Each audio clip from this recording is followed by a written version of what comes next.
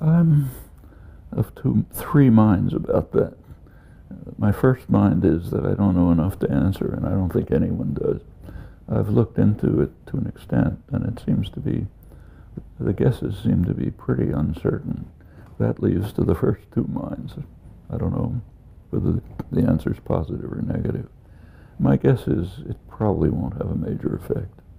But let me make clear that that's a guess with low confidence.